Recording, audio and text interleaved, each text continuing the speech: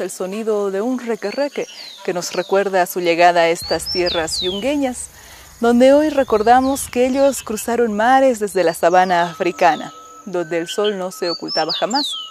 Fueron traídos como esclavos, pero no perdieron la esperanza. Ingresaron a las minas en Potosí y olieron el azufre y el mercurio. Cayeron allá buscando plata, pero en las noches la mamá grande les contaba leyendas a sus hijos para que no olvidaran de dónde venían. Y se oía la música y el canto en busca de libertad.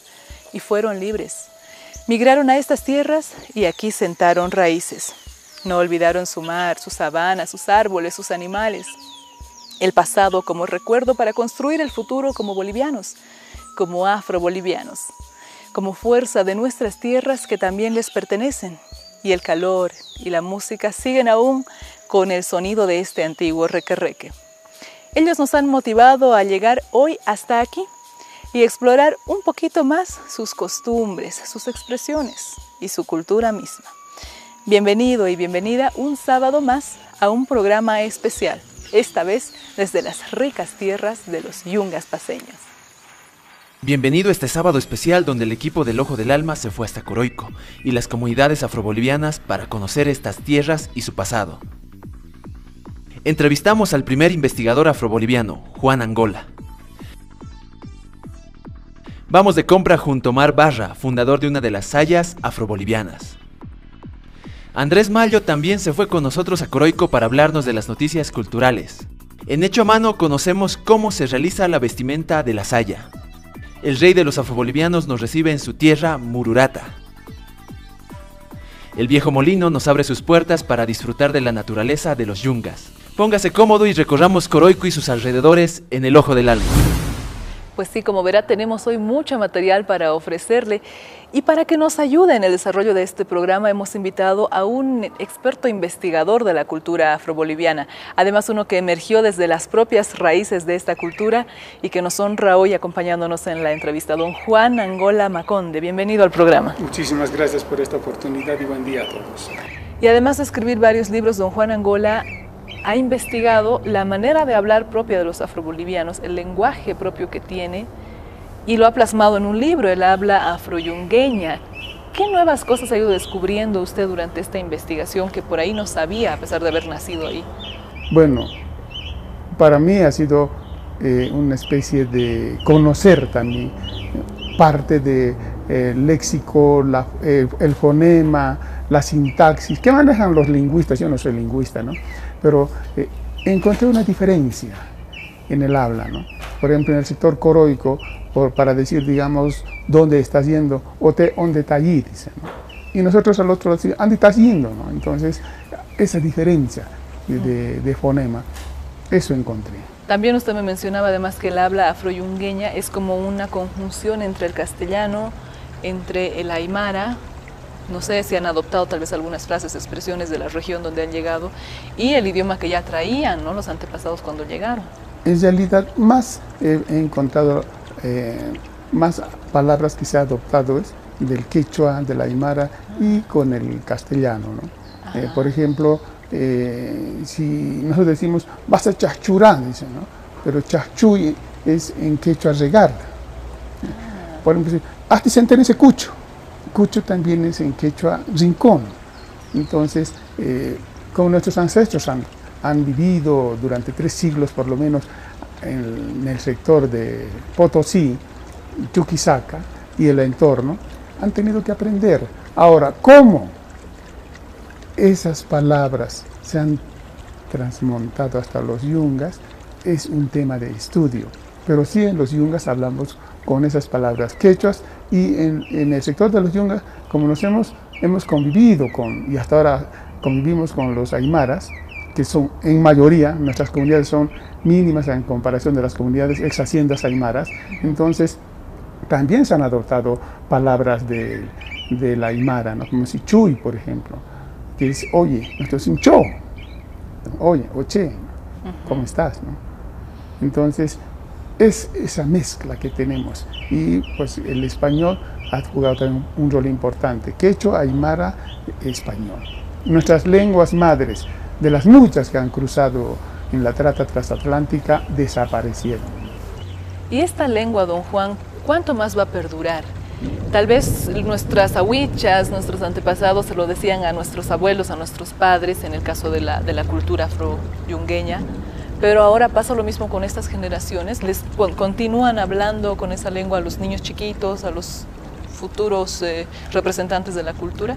Eh, en ciertas comunidades sí, aún todavía los niños, porque en casa hay personas de edad mediana, hay, las abuichas, hay los abuelos que están dialogando con los niños, entonces el niño aprende a hablar de esa manera, eh, pero va pasando el tiempo, va a la escuela y siempre el maestro va a comenzar a hacer las observaciones.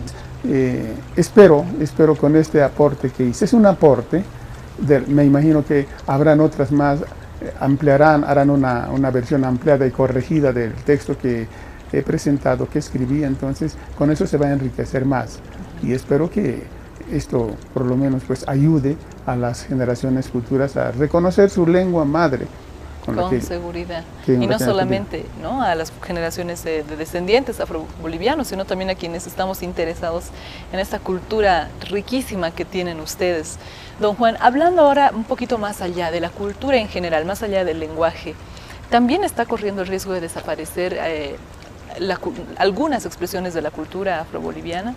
Bueno, hasta hoy eh, la expresión más fuerte, el elemento más fuerte que ha conservado a la, a la cultura pro-boliviana es la, la, música, la saya. Es el, el, cordón umbilical, se puede decir, ese nexo entre eh, el, el afro-boliviano con el resto de los países vecinos que nos rodean y también con el África. Entonces, eh, los tambores para nosotros, bueno, la juventud Incluso hasta yo mismo que era agarrar y tocar, pero detrás de los tambores hay una historia realmente larga, desde eh, la salida del África, la trata o el, viaje transatlántico, el llegar acá a, este espacio actual donde vivimos, este territorio que vivimos, el volver a reinsertar en este nuevo contexto eh, el tambor, a volver a reconstruir el tambor, quizá han participado eh, varios pueblos, porque los han mezclado los pueblos en el, modo de amarrar las cajas, eh, el, tamaño de las cajas, porque en el, nuestro tenemos el tambor mayor sobre tambor, asentador, el canjingo, entonces eh, ganjigo, canjengo, ganjigo, como se dice, ¿no?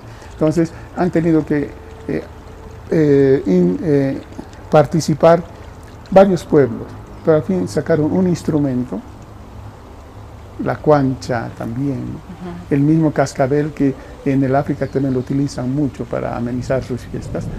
Entonces, el único elemento cultural que ha, que ha resistido todos los embates de la colonia, la república, es, es la, el tambor. El tambor, qué simbólico entonces. Realmente simbólico. Y el tambor lo utilizan también en los otros bailes, porque la saya que conocemos aquí, la saya afroboliviana, tiene un ritmo muy alegre, tiene un ritmo muy, o tiene unas características particulares, pero sabemos, por ejemplo, que existe el mauchi famoso para los eh, entierros importantes o algunos otros específicos para algunos eventos específicos también.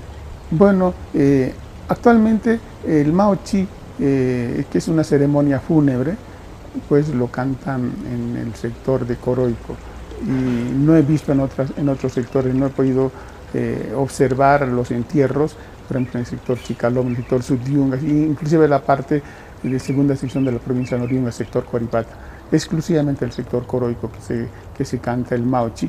No se, no se utilizan tambores, eh, es después, del cementerio, eh, después de enterrar al, al difunto, al, al, regreso participan los hombres. ¿Y cuál es la característica del mauchi? Bueno, eh, se, se, lo canta a, al, como una despedida, ¿no? Al, al, al difunto. Sasabuira Mauchi, dicen, Sasabuira Mauchi, eh, ni subí ni baja, dicen. Tengo entendido que también es solamente para eh, difuntos de cierta edad, de, edad, cierto de edad mayor, que han pasado los 60, 70 años, que han, que han, tenido una vida, que han dejado una experiencia de vida en la comunidad. Y por ejemplo, en otro tipo de eventos más alegres, en las bodas o en las rutuchas, que no sé si se siguen haciendo en la comunidad, ¿se canta también? Eh, en realidad, por ejemplo, el, el, de tierra en las, en las en las fiestas, en, las celebraciones así de familia o de comunidad, que también se está perdiendo, a decir verdad. Ya no hay, eh, recuerdo que mi mamá, mi papá siempre solían conversar, por ejemplo, se hacían los contrapunteos, las coplas, eh, que separaban, por ejemplo, unas cinco o seis personas así de bandos diferentes, ¿no? uno comenzaba a cantar así una copla, el otro respondía, siempre acompañado del tambor, y cuando eh, el otro ya no podía responder, eh, bueno, pues se formaba, se armaba una gresca, ¿no? Entonces, esas cosas ya se han dejado. Una ceremonia muy especial es la semba, ¿no? Que supuestamente se cantaba, mayormente pero en el sector coroico, se cantaba en, en momentos muy especiales. No era cualquier día, solamente había momentos muy especiales para poder cantar y bailar eh, esa ceremonia. Ahora, se toca la caja, se acompaña en los matrimonios de cuando en cuando, siempre y cuando eh, los novios eh, decidan cambiar la orquesta por la saya. Ah, también se Sí, porque mayormente donde he podido observar en los matrimonios aquí en la ciudad, hay saya, pero en los yungas, matrimonios, entre nosotros afros, casi no. Llevan orquesta. Y llevan orquesta o banda, ¿no? Incluso hasta las mismas fiestas es con banda, o bailan morenada, o diablada, o tinco. Se está perdiendo nuestra identidad en realidad, que es tan rica, ¿no? Eh, pero también es parte de una simbiosis cultural, unas expresiones. Qué interesante todo lo que nos cuenta don Juan Angola. Y ya que estamos hablando de música, ya que estamos hablando de tradición, de baile, pues nos toca ahora irnos con uno de los que sabe bastante también de música eh, y que nos alegra de cuando en cuando con una de las sayas, porque hay bastantes también aquí en La Paz. Se trata de nuestro gran amigo Omar Barra, que es a su vez representante del Consejo Nacional del Pueblo Afroboliviano. Es una persona importante, el Omar. ¿no? Pues esta vez nos ha dejado acompañarlo a sus compras y se ha ido a la calle Sagárnaga de La Paz para comprar unos instrumentos pues para la saya afroboliviana. Vamos a acompañarlo.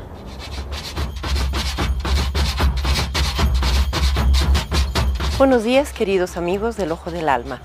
Hoy me encuentro en la calle Linares. Vamos a ir al encuentro de Omar Barra, presidente del CONAFRO. Vamos, acompáñenme. Omar, qué gusto encontrarme contigo. Estamos de compras viendo algunos instrumentos que ustedes utilizan para la sala. Claro que sí, aquí estamos en la tienda donde hacemos hacer nuestros estuches también para los tambores. Y aquí también se compran los yembes y aquí también, aquí también hay las cuanchas, ¿no? que muchos lo conocen a veces como Reco Reco. Omar es el presidente del CONAF. Ah. ¿Desde hace cuánto que estás en eh, Un año, ¿no? El Consejo Nacional se funda recién el año pasado, se crea en el 2011, el 2 de septiembre. Es que es la organización matriz que representa a nivel nacional, no tanto a las comunidades como a las ciudades, no es la organización que representa a todos ¿no? a nivel nacional. El movimiento del afro, ¿desde hace cuánto que está en...? Eh, aquí en La Paz, eh, hace 25 años, hace 25 años que se conforma la primera organización aquí en la ciudad de La Paz por jóvenes que migran del, más que todo del sector de Coroico. Aquí ustedes compran instrumentos que son típicos de la, de, de, la saya afro-boliviana. Los tambores nosotros ya lo hacemos, ¿no? Los tambores es un poco difícil de encontrar, conseguir comprar, eso lo hacemos en las comunidades. Ahora podemos ver algunos de los claro, instrumentos. Claro, claro, sí, sí, sí. Aquí tenemos el djembe, eso también nosotros más que todo hemos innovado con los djembes, ¿no? En lo que es la saya, Un poco para poder hacer un poco más de fusiones, ¿no?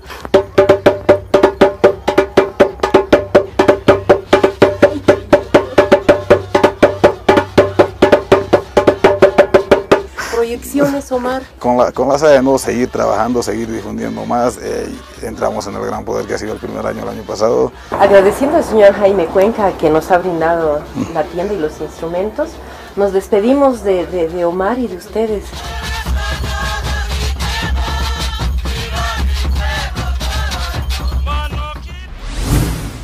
Como verá, en este viaje hemos podido acercarnos a las raíces mismas de la cultura afroboliviana, desde algunas de las comunidades más profundas que la vieron nacer, aquí en los yungas paseños.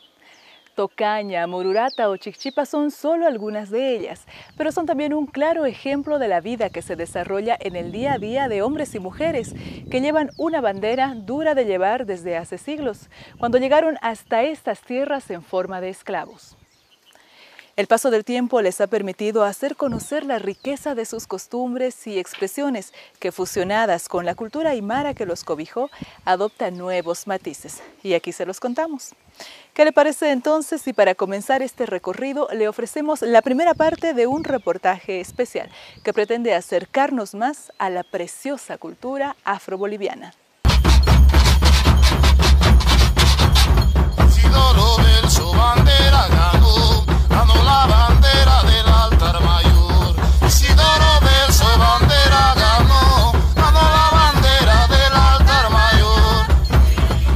Es una especie de homenaje perpetuo al presidente que abolió la esclavitud en 1851. Isidoro Belsu es un ícono de libertad para el pueblo afroboliviano y por eso está presente al inicio de cada cabezaya.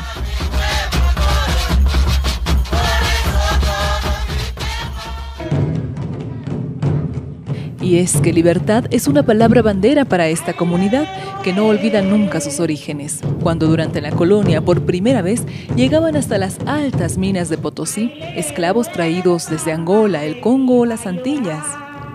Se estima que 8 millones de africanos y nativos murieron por trabajar en estas minas entre 1545 y 1825, cuando se declaró la independencia de Bolivia. Poco a poco buscaron tierras más cálidas y similares a las africanas, llegando así hasta los yungas paseños, donde dejaron su legado en más de 10 regiones. Aquí es el lugar donde hemos tenido muchas historias y aquí es donde el lugar también quisieron eh, perder muchas lenguas de nuestros antepasados. Aquí murieron muchos nuestros ancestros. Este es el lugar indicado de donde llegaron después de Potosí. Llegaron a nuestra comunidad el Cantón Burgata, Tocaña y San Joaquín. Los primeros afros. Los primeros afros. Muchas de sus costumbres se han perdido, así como su lengua original. Solo algunos ancianos de la comunidad la practican entre sí. Choy, siempre ande tía preocupando, ande viene Chichipa. Chichipa los va a ayudar mucho porque Chichipa es, si ustedes no conocen Acapulco, Chichipa es Acapulco. La simbiosis cultural se nota, por ejemplo, en la vestimenta que adoptaron las mujeres, que al igual que las aymaras utilizan polleras y sombreros borsalinos.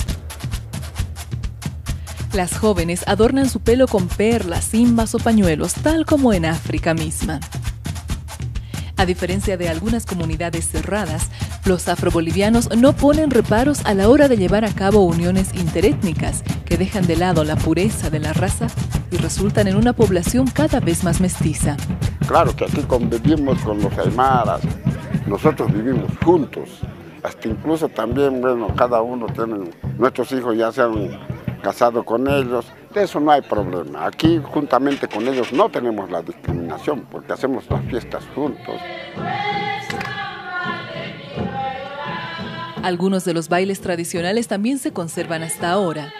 La semba, un ritmo ejecutado con palmas y tambores, dedicado a momentos de suma importancia, anteriormente vinculados a actividades del rey.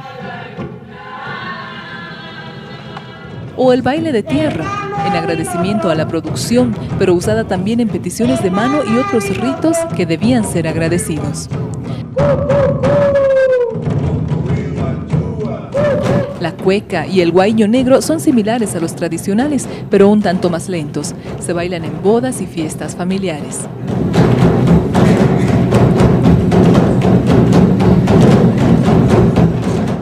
El mauchi, un canto fúnebre sagrado que refleja la muerte de las personas mayores de la comunidad. Este es quizá el más significativo en función a los valores morales del pueblo afroboliviano.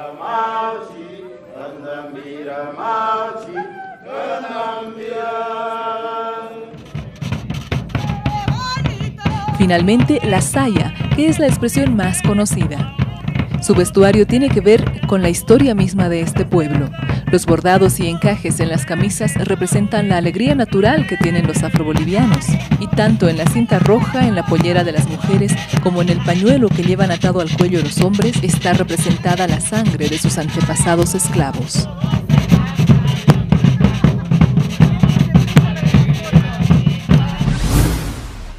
Y hay mucho más partiendo de las investigaciones de este apasionado escritor. Sus libros nos han inspirado y por eso tenemos mucho más para contarle en este programa especial.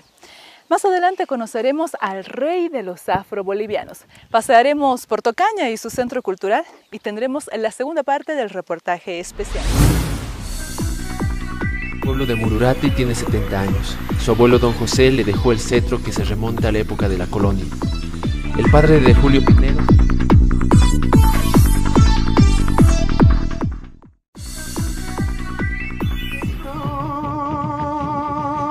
Gracias por aguardarnos. Hoy estamos presentándole un programa especial desde los Yungas paseños porque queremos conocer más a fondo la cultura afroboliviana. Esta cultura que nos acompaña desde hace muchos siglos, pero que hace alrededor de dos décadas recién se dio a conocer artísticamente en las ciudades del país. Sobre todo al ritmo de la saya, que es el más conocido de sus bailes. El tiempo que yo te quise, te has puesto toda una dama. El tiempo que yo te quise, te has puesto toda una dama. Y ahora que no vales nada, recién pides que te ame. En este programa especial sobre la cultura afroboliviana seguimos conversando con Juan Angola Maconde, el autor de varios libros que nos cuentan un poquito más y nos acercan a esta riquísima cultura. Y vamos a preguntarle, tal vez es muy amplia y difícil la pregunta, don Juan, pero tratemos de resumir cuál es quizá una de las principales características del pueblo afroboliviano que lo diferencia del resto de las culturas. Bueno, en realidad su, su modo de ser, eh, su identidad, lo que diferencia, ¿no? y más que todo pues, su, su, expresión también, su expresión de, eh, de comunicación que tiene ¿no? eh, entre un pueblo, por ejemplo nosotros en el pueblo yungueño con el pueblo aymara yungueño también. Entonces, una diferencia en que eh, decía, hay una especie de, de barrera, de barrera, aunque los matrimonios interétnicos se están dando con mucha frecuencia, hay, y hay una interculturalidad. Pero no es peligrosa esa interculturalidad para la preservación del, de la sangre, pues de las raíces. Por ahí sí. Así es. Eh, si sigue este ritmo, bueno, pues acá en 30 o medio siglo solamente habrá una referencia que hubo afrodescendientes o descendientes de africano en Bolivia. y sobre ese tema, eh, ¿Alguna vez se ha tocado el tema en el interior de las familias?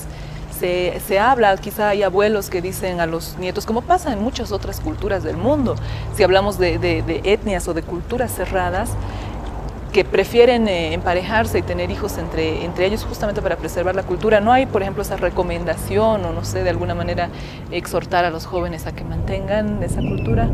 Hasta hace eh, cuatro décadas bueno, había matrimonios eh, entre afros, pero después ha salido en los jóvenes, ha, ha comenzado a, a sobresalir una, un afán de mejorar eh, probablemente la raza, ¿no? Eh, entre comillas. Entre comillas, honestamente, entre comillas.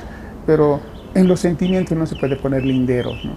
Los jóvenes, las, las señoritas se enamoran de de parejas de jóvenes mestizos o, o blancos o indígenas, igual propio, lo propio hacemos los hombres, ¿no? son los hombres, los jóvenes actuales. ¿no? Uh -huh. Entonces, eh, ¿qué se puede hacer?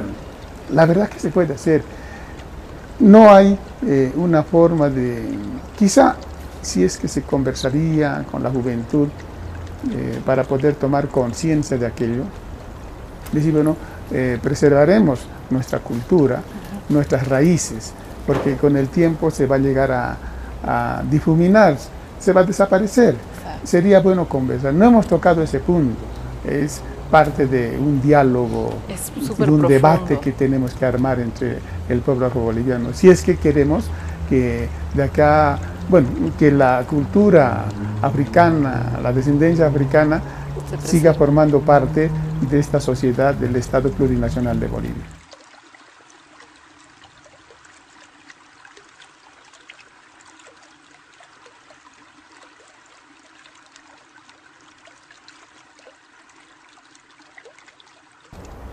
Don Juan Angola, ahora hablemos de usted.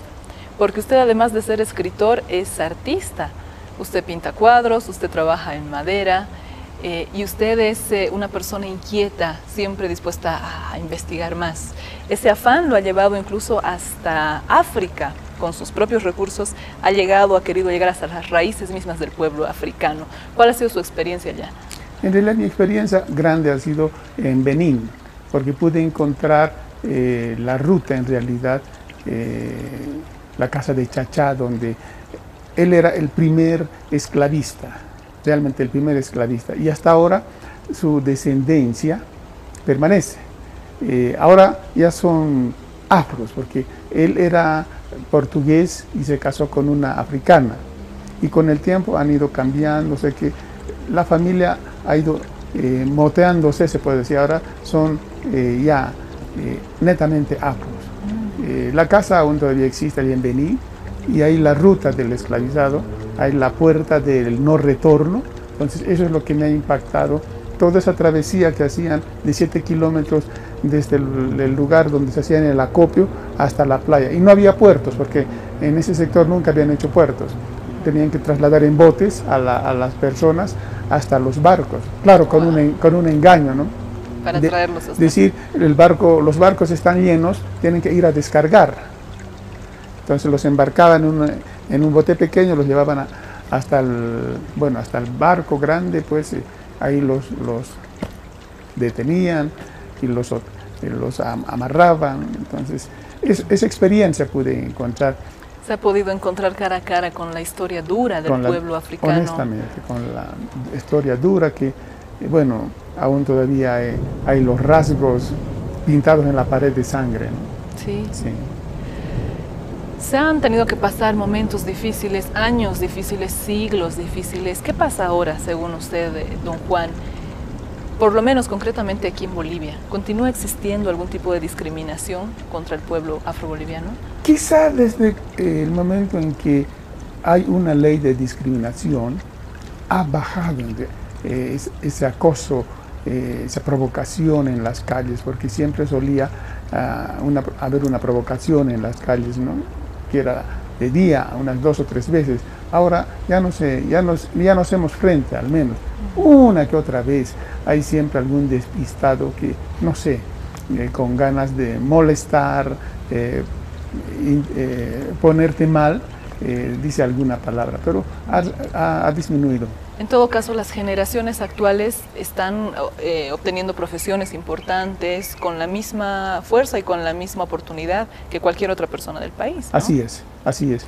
Ya hay eh, comunicadores sociales, hay médicos, en, la, en el campo más amplio los militares, hay bastantes militares en las tres eh, armas. Qué importante es esto. Don Juan Angola, el trabajo suyo es muy reconocido afuera. ¿Qué pasa aquí? ¿Su comunidad lo tiene a usted como a un investigador, como alguien que realmente está haciendo algo importante por ella? No, no. No, me apena decirlo, ¿no? Nadie es profeta en su tierra, así dice el adagio no me apena decirlo. Eh, lo importante es que esté haciendo un aporte, un aporte a la cultura, a la historia y también pues eh, se podría decir a, mm, a ver, a la... Mm, bueno, no, me viene la palabra, aportes importantes. Lo hice y lo estoy haciendo.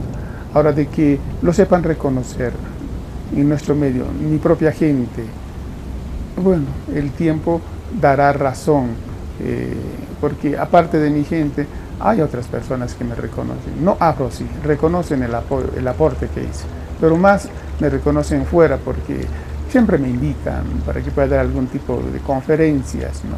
Y eso me reconforta porque eh, reconocimiento lo tengo fuera. Como usted mismo lo ha dicho, don Juan, el tiempo lo va a decir y creo que el aporte que está haciendo es muy importante y que seguramente va a haber mucha gente que va a valorar este pequeño gran granito de arena que usted está poniendo ahora.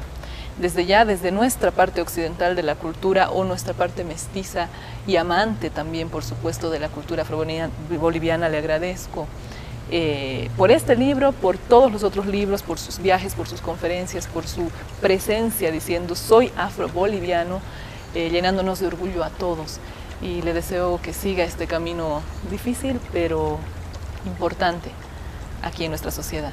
El agradecido soy yo por darme, primera vez que tengo esta oportunidad de poderme mostrar ante el público con una entrevista así bastante larga. Eh, el agradecido soy yo y gracias a usted, eh, a este lindo programa que tienen, demostrar realmente, dar a conocer los aportes de personas que hacen un trabajo silencioso, pero a fin de cuentas hacen un trabajo.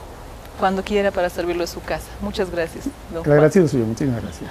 Un honor esta entrevista, por supuesto.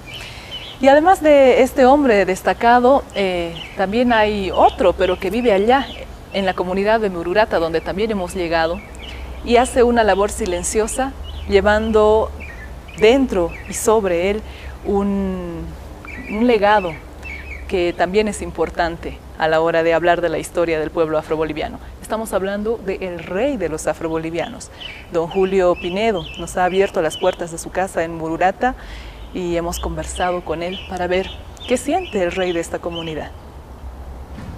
El rey nació del sol de África y ahora sus descendientes caminan por las tierras de los yungas. Ya no son esclavos, son libres. Julio Pinedo I es el actual rey de los afrobolivianos. Yo he nacido con mi abuelo. Mi abuelo era el rey hasta último, el Bonifacio Pinedo. A mí otra vez me nombraron como, como su representante porque ya hace rato que ha afinado. Vive en el pueblo de Mururata y tiene 70 años. Su abuelo don José le dejó el cetro que se remonta a la época de la colonia. El padre de Julio Pinedo falleció antes. Claro, yo soy el primera autoridad para cualquier caso, cualquier idea que se trata del pueblo, como también de las comunidades. Entonces, así leyendo las historias, hay unos papeles también antiguos, y allí me han hecho entender de que esa base de que tiene que tener un rey. Julio Pinedo lleva el apellido que adoptó de sus patrones. Cuando sale el sol trabaja en el cultivo de la coca. Algunas tardes hace pan junto a su esposa y atiende una pequeña tienda de barrio. Yo cuando he crecido he visto Tocaña, he visto comunidades cercanos con más alto afros, pero ahora ya no, especialmente los hijos, los jóvenes ya no se encuentran en, en las comunidades. Yo quisiera que no se olviden si lo que somos.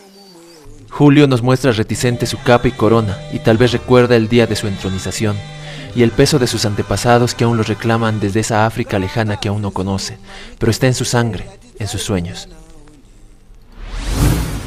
Dicen que Tocaña es el corazón de la saya en Bolivia y no nos caben dudas. Tampoco nos caben dudas de que es una tierra de gente hermosa que recibe al visitante con una sonrisa y le ofrece lo mejor que tiene, su historia, su cultura. Y para seguir hablando de ella, ¿qué le parece si ahora vemos la segunda parte del reportaje especial realizado por el equipo del programa, tanto en esta comunidad como en Mururata y sus alrededores?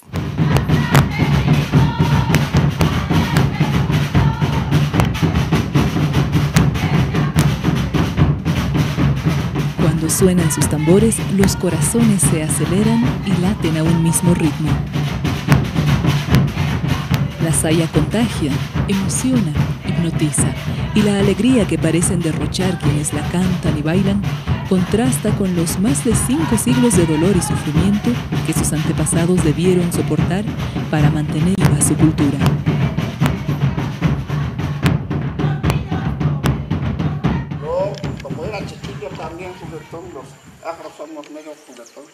Un día, a este tiempo, el tiempo de enero es, la cosecha del cacao. Entonces bajamos nosotros a cosechar cacao con el hijo del patrón. Entonces yo le he hecho caer, yo como los negritos siempre somos aptos para subir al árbol. Subí al árbol y él me dice que te amen los tres, cuatro. Entonces el chiquito, eh, así envuelto en mi, mano, se me desbaló uno, cayó a la cabeza del hijo del patrón. Entonces llegando en este lugar, era donde el lugar que eh, mi papá se me cargó, entonces a mí de lado me castigaron. ¿Lo han chicoteado? Me han chicoteado a mí, a mi papá también lo chicoteaban, para que empiece a educar. En la comunidad de Chichipa, a una hora y media de la población de Coroico, Alejandro Iriondo recuerda así los años en los que aún era esclavo. Siendo un niño todavía, recorría con temor el patio de la casa de hacienda que ahora administra. hemos impulsado que ahora está en nuestras manos. Y estoy muy alegre de estar aquí. Eh, hacer, para hacer, yo soy el impulsor y estamos todos alegres. Pero ahora no soy yo solo, somos toda la comunidad, nuestras autoridades, para tomar esto. Usted sabe que aquí no hay yo, es de todos y todos vamos a sacar juntos. Al final todos los afros, porque aquí en este lugar se ha sufrido mucho y este es un recuerdo que no lo podemos dejar así. Yo me acuerdo, claro que yo no he hecho la hacienda, pero también he visto cómo pues que han sufrido a mis padres y entonces ahora es también que yo, digamos, diciendo, me estoy riendo, justicia tarda, pero llega. Y es que los tiempos han cambiado, pero hoy por hoy, en las poblaciones yungueñas, los miembros de la comunidad afroboliviana no llegan a más de 25 mil. La migración a ciudades como La Paz, Santa Cruz y Cochabamba en menor medida han hecho difícil el cálculo total de esta población en Bolivia. Sin embargo, existen otros que deciden regresar a sus tierras de origen, como don Alejandro, que luego de vivir y trabajar por muchos años en La Paz y Buenos Aires, se encuentra ahora en su comunidad, junto a toda su familia. No sería aquí, soy nacido de la de La Paz, pero me he venido aquí a estudiar junto con mis primos, así. ¿Y te acostumbras fácil a volver al campo? Sí. ¿Te gusta? Es hermoso, es bonito, es encantador. Aquí los jóvenes hacemos instrumentos cada vez cuando vamos al monte a sacar unos troncos para hacer nuestro instrumento de tocar la saya, también para hacer la, la cuancha. Este joven, al igual que todos los que aún viven en los yungas, debe realizar el trabajo diario al que mayormente se dedica su comunidad, la siembra, mantenimiento y cosecha de coca, maíz, frutas y otros alimentos para su comercialización. Durante el día, hombres, mujeres y niños se encuentran esparcidos por los amplios campos de cultivo que tiene la región de los Yungas, hasta el atardecer, cuando regresan a sus hogares para el reencuentro familiar, quizá en alguna de sus acogedoras viviendas de Mururata, Chicaloma, Chichipa, Dorado Chico o Tocaña. En esta comunidad no, somos todos afros, pero la mayoría son afros, que tenemos unas cuantas eh, personas indígenas que bajaron de Perolane, que ellos vivían a, vivían a, Perolane arriba, pero eh, se han bajado a comprar algunos terrenos acá. Y son como cuatro o cinco personas indígenas que viven acá, pero la mayoría son afros. ¿Cuatro o cinco familias? Sí, sí, por ahí.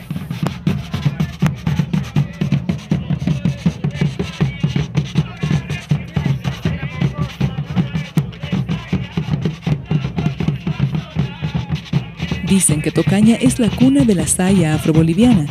Quienes entienden de estos ritmos escuchan la diferencia entre los tambores de una y otra región. La, verdad que es eso. La verdad que es eso, aunque en Chicaloma también hay saya, después en Chichipa también, en Morrata ahí, pero llegando a la conclusión que si, si nos formamos entre, o sea, nos reunimos los tres grupos, puede ser de Chicaloma y de Morrata, Chichipa, ahí se puede observar el sonido, cuál es el, verdadero. ¿no? Entonces, se supone nomás que esto de la tocaña es la, original, y que tiene el mejor, el mejor gustito. ¿no?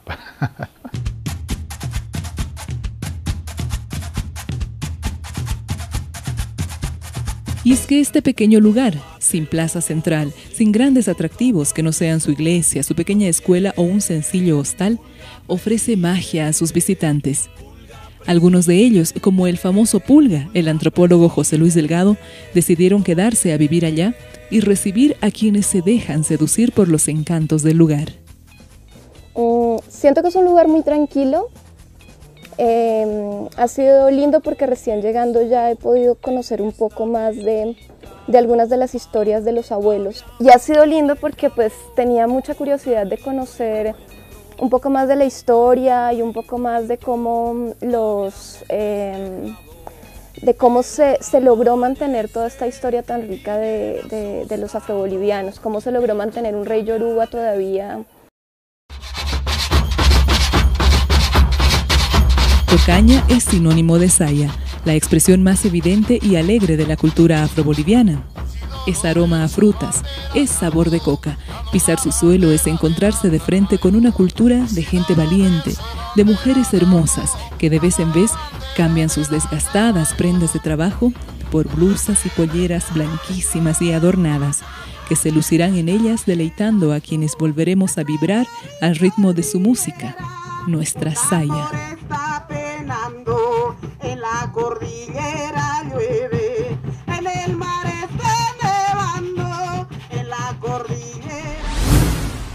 Sí, la saya seguirá marcando a fuerza de bombo los latidos de quienes tanto la apreciamos.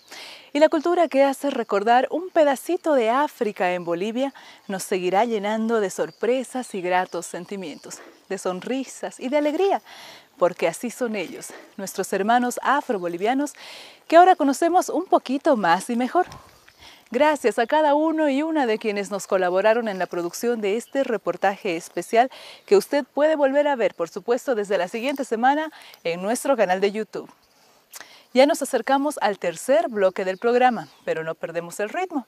Y con él nos vamos a ir a la segunda pausa, ¿le parece? Pero no se vaya porque al regreso le mostraremos Coroico, una de las poblaciones más turísticas de Bolivia y todo lo que tiene para ofrecernos, que es mucho. A mí me toca por ahora regresar al pueblo y al hotel que nos ha cobijado estos días, que también le mostraremos en detalle. Nos aguarda dos minutitos.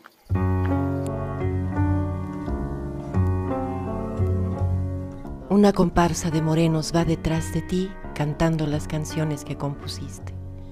Pero no suena ningún bombo porque no estás tú. Y allá, muy cerca, las mujeres lloran y piden que la morenada no termine nunca. Y dicen a viva voz que desde Coroico volverás con tus sayas, con tus guaiños, como cuando eras joven, querido Alfonso Zavala. Y además del vestuario, en esta familia coroiqueña también se realiza otro tipo de artesanía. Nació la idea por la variedad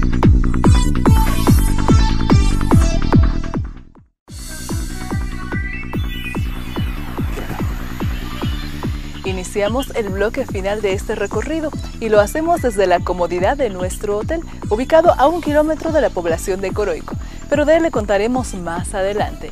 Por ahora es momento de hablar de este precioso pueblo que tiene identidad propia y además nos ofrece innumerables alternativas de diversión y bellísimos paisajes para los visitantes, que por cierto llegan desde muchos lugares del mundo para conocer, entre otras cosas, la famosa Ruta de la Muerte que conduce hasta aquí turismo aventura, recreación familiar, cómodos descansos, hoteles de lujo.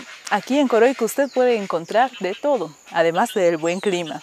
Selva a solo dos horas del municipio paseño. Una maravilla. Coroico es el ingreso al paraíso que son los yungas. Está situado a 100 kilómetros de la capital departamental. El clima de Coroico es cálido y tiene humedad de las selvas tropicales. El camino hacia esta localidad inicia en las afueras de Villa Fátima. La primera hora de viaje nos traslada hasta la cumbre, donde varios paquetes turísticos ofertan un paseo en bicicleta hacia la tranca y Olosa. El camino que nos conduce a Coroico es la ruta Cotapata-Santa Bárbara, que tiene amplios túneles y, poco a poco, la vegetación de las montañas se hace más frondosa.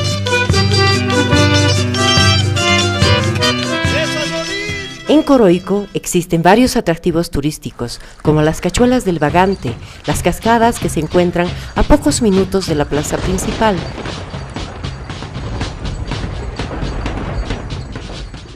En Coroico tenemos paquetes de tres días, dos noches, que les incluye todo, les incluye desayuno, almuerzo, cena, fiesta de Año Nuevo, el transporte en hoteles de tres estrellas con piscina, habitaciones con baño privado y todo el servicio de, digamos, de primera calidad, ¿no? con los mejores hoteles dentro de Coroico. ¿Primera vez aquí en Coroico? Sí, la primera vez. Eh, es muy lindo, muy muy lindo. Toda la vegetación, los paisajes, hermoso. Eh, la gente es muy amena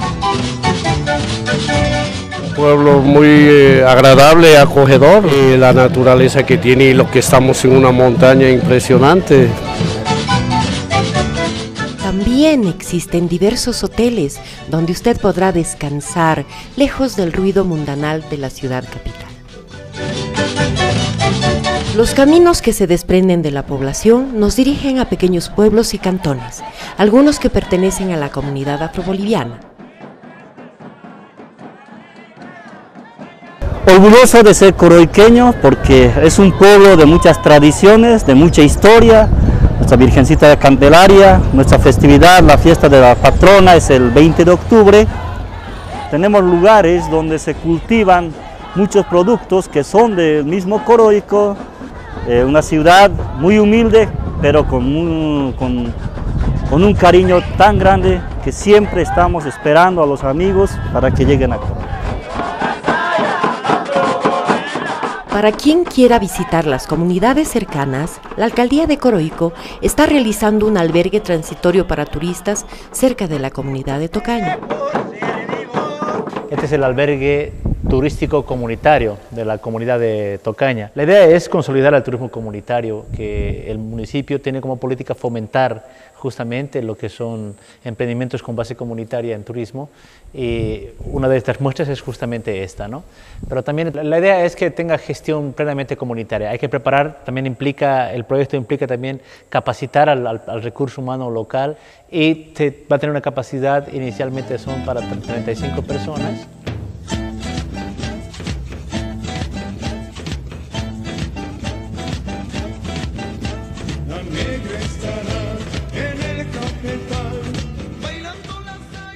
Disfrutemos de Coroico y encontremos la paz muy cerca de la capital. Acerquémonos al encuentro con la naturaleza y descubramos las bellezas que nos tiene guardada esta tierra y que solo se encuentran en Bolivia.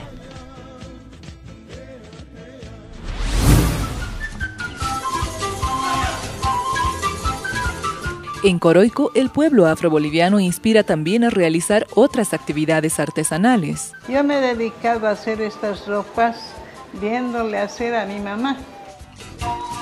Las prendas de Doña Lili son muy requeridas tanto por turistas como por los propios músicos de la Saya y para distintos acontecimientos. ¿Sabe el matrimonio de los negritos? La madrina de Aros o la de Civil, ella era negrita y la madrina de iglesia era blanca. Después de casarse se iban a su casa y daban una vuelta al pueblo montadas en caballo. El novio adelante con la manta de la novia y la novia atrás vestida de novia. Y además del vestuario, en esta familia coroiqueña también se realiza otro tipo de artesanía. Nació la idea por la variedad, fíjense, de, tonos, de colores que presenta la naturaleza. Esto viene de la corteza del árbol de plátano, que acá lo llamamos cojoro. Una vez que se ha cosechado la cabeza de café, eh, se eh, toma la parte externa de la hoja y se la trabaja. Se hacen lindos trabajos, tanto eh, o sea, en artesanía, pueden ser eh, confeccionados en trenzados, sombreros, carteras, etcétera, como también estos objetos que ustedes ven. Ya le dieron ganas de venir, ¿verdad? Claro que sí, y si está pensando en hacerlo en familia, con amigos o incluso solo o sola, le damos ahora la alternativa perfecta para hospedarse este increíble hotel, uno de los más conocidos y tradicionales de Coroico, que tiene todo lo que hace falta para pasar unos días de descanso y relax. El Viejo Molino es el hotel donde se alojó todo el equipo del Ojo del Alma en esta travesía y seguramente donde también regresaremos cada vez que vengamos a visitar Coroico, porque de aquí no dan ganas de salir. Mire usted. A un kilómetro de distancia se encuentra el Hotel El Viejo Molino, que es una alternativa para el descanso. Es un gusto tenerlos acá en el hotel.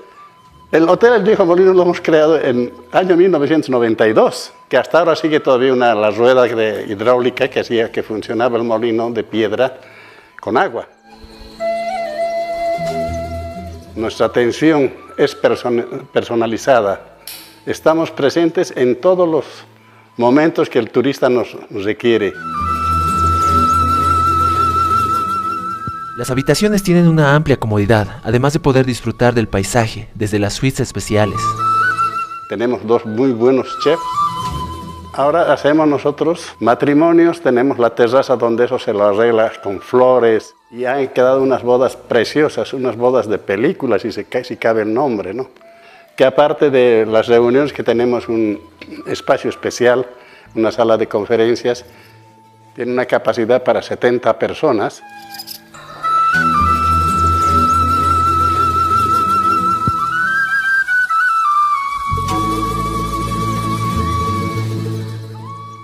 Estamos viviendo aquí en Coroico, que es el paraíso terrenal. Estamos a dos horas de viaje de la ciudad de La Paz.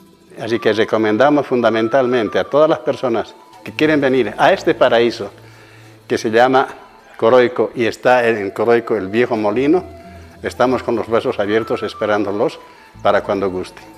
Yo los invito a todas las personas que no se han dado el gusto de venir a este lugar tan hermoso y tan precioso que tenemos, vengan, vengan y van a ver que este es un lugar especial para salir del estrés de la ciudad. Visitemos el viejo molino, que es parte de los atractivos turísticos de Coroico y donde podremos interactuar con la naturaleza.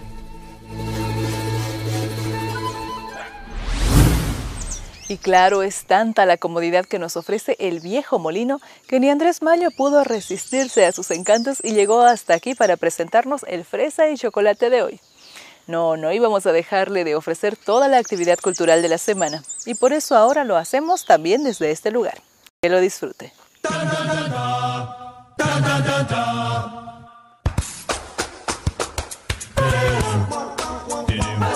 Empezamos Fresa y Chocolate desde el viejo molino aquí en Coroico. Tenemos mucha información para traerles esta semana. Acompáñenos. Y este 8 de diciembre se presenta el artista argentino Kevin Johansen en el Teatro 16 de Julio, luego de haberse presentado en Santa Cruz en Sonilú. No estaba durmiendo. Este 8 de diciembre se presenta la obra Arte de Fernando Arce, una propuesta que no puedes perderte en el desnivel. Bueno, eh, queremos eh, participar a la gente de esta ciudad, y a la gente que se acerca pues a dos presentaciones que tenemos previstas para este sábado 8 y domingo 9 en el 6 de agosto, música de maestros. Y para todos los rockeros, este martes 11 de diciembre se presenta en la Cinemateca Boliviana el grupo Monster. El Catu de las Divas es una feria artesanal que se realiza en el COE del 13 al 16 de diciembre, una propuesta que no debes perderte por los precios para todas las caseritas. Estamos haciendo eh, lo que se llama el tributo a los Jairas, la revolución de la música de las tres primeras décadas. Es, este evento se está realizando el 11 de diciembre en la Casa eh, de la Cultura, en el Teatro Modesta Fangines de la Casa de la Cultura, a las horas 19.30 va a empezar el concierto. Este 13 de diciembre, en el ciclo de dictaduras, una memoria necesaria, se presenta la película Con mi corazón en Yambo, una película ecuatoriana presentada por Diego Mondaca. Santi tenía 17 años cuando tomó su última foto. El nené tenía 14 y una energía interminable. El grupo musical Requiem presenta Bromas en Serio este viernes 14 de diciembre en el museo. Me ha sabido sostener, tu brazo me ha dado En el marco del ciclo de cine español se presenta la película Bésame Mucho. Esta película estará del 4 al 25 de diciembre en el Cine Teatro Compa. Hola, ¿cómo están? Soy Nano Sandoval, eh, del grupo El Dúo y estamos muy contentos de estar en este programa. Bueno, estamos eh, organizando una presentación muy importante en el Teatro Municipal Alberto Saavedra Pérez los días 11 y 12 de diciembre, que vale decir el día martes y miércoles de la próxima semana. Es un concierto en el que lo hemos denominado Estampa Argentina y un paseo por América. Y también en el Cine Teatro Compa del 5 al 26 de diciembre se realiza el ciclo de cine brasileño. Usted podrá disfrutar de diferentes películas.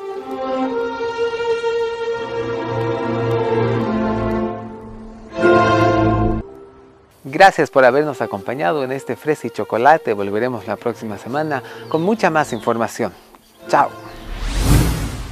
Y llegamos al final de este programa especial que le ofreció el Gobierno Autónomo Municipal de La Paz en busca de acercar culturas y estrechar lazos, esta vez con nuestros hermanos afrobolivianos, que fueron los grandes protagonistas de este capítulo. Dios mediante estaremos en las siguientes entregas conociendo nuevas culturas con programas similares. Si usted conoce alguna que le interese en particular, cuéntenos todo a través de nuestra página de Facebook. Si quiere ver de nuevo este programa, como ya le dijimos, puede hacerlo también mediante nuestro canal de YouTube. Ha sido un verdadero placer llegar hasta aquí para ofrecerle este material fue posible gracias a muchas personas, pero sobre todo a la agencia de viajes Miramar Bolivia y al Hotel El Viejo Molino, desde donde ahora nos despedimos. Y desde donde también le enviamos la mejor energía de nuestros yungas. Sean felices y ya sabe, a mirar la vida siempre de la mejor manera, con el ojo del alma. Hasta luego.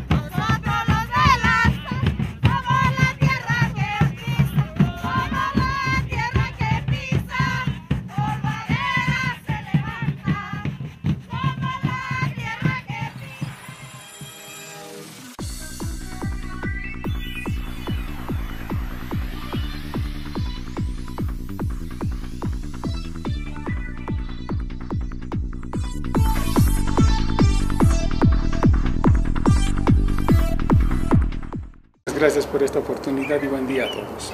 Y además de escribir varios libros, don Juan Angola ha investigado la manera de hablar propia de los afrobolivianos, el lenguaje propio que tiene, y lo ha plasmado en un libro, el habla afroyungueña. ¿Qué nuevas cosas ha ido descubriendo usted durante esta investigación que por ahí no sabía, a pesar de haber nacido ahí? Bueno, para mí ha sido eh, una especie de conocer también parte de el léxico, el, fonema, la sintaxis, que manejan los lingüistas, yo no soy lingüista, ¿no? pero eh, encontré una diferencia en el habla, ¿no? por ejemplo en el sector coroico, por, para decir, digamos, dónde estás yendo, o te, dónde está allí, dicen, y nosotros al otro lado, ¿dónde estás yendo? ¿no? Entonces, esa diferencia de, de fonema, eso encontré. También usted me mencionaba además que el habla afroyungueña es como una conjunción entre el castellano, entre el aymara, no sé si han adoptado tal vez algunas frases, expresiones de la región donde han llegado, y el idioma que ya traían ¿no? los antepasados cuando llegaron. En realidad, más he encontrado eh, más palabras que se han adoptado es del quechua, del aymara y con el castellano. ¿no? Eh, por ejemplo, eh, si nosotros decimos vas a chachurán, dicen, ¿no? pero chachuy es en quechua regar. Por ejemplo, se ese cucho. Cucho también es en quechua rincón.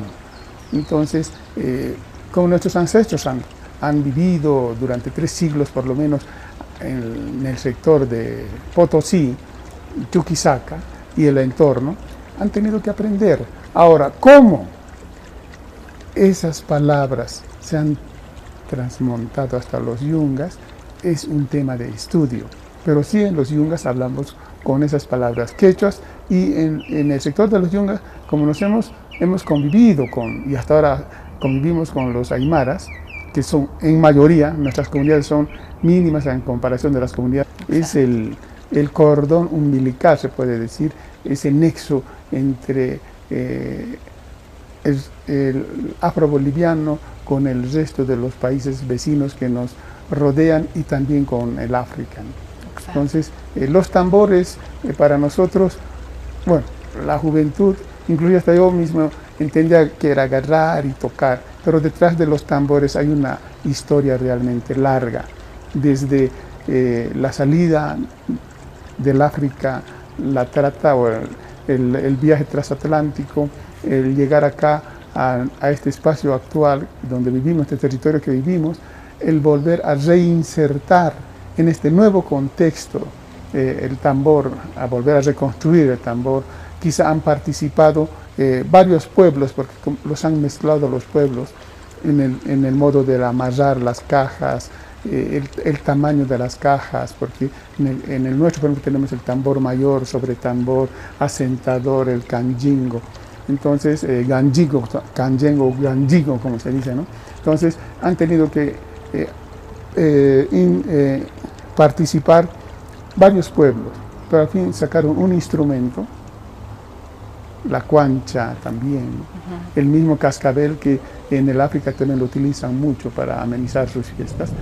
Entonces, el único elemento cultural que ha, que ha resistido todos los embates de la colonia, la república, es, es la, el tambor. ¿no?